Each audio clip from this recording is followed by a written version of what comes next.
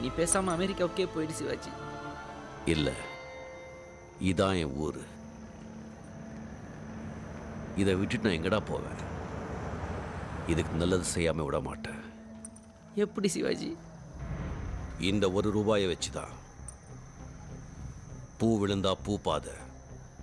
தலை விழுந்தா சிங்கப்பாதை. என் பாதையை கடவுளோ தற்செயலோ இது தீர்மானிக்கட்டும்.